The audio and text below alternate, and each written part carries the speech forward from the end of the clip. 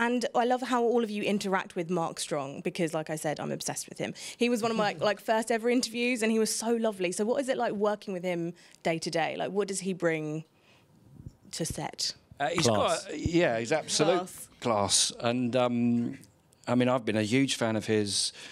Watched him throughout the years, and it's um, you know it's great when you get to work up close and personal with someone that you greatly admire like him. And he was he just you know it's always a great responsibility for any lead actor in a show because it always starts at the top.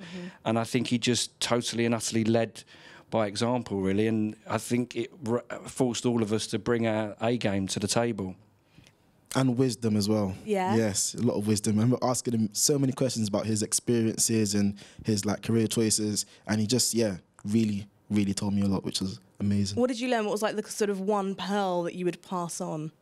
Um, just about being true to yourself and being true to your character. Mm-hmm. He really we went on like a little, I don't know, little like class almost. Like he gave me a little schooling about. Really? Yeah, I asked him. I told him, please give me some knowledge, and he was yeah telling me about just being true and when approaching characters, really making it close to yourself, but still having like so keeping authentic and stuff like that. But yeah, it really did help me. Really did. And always be at the front of the lunch queue. That's a great tip for everybody.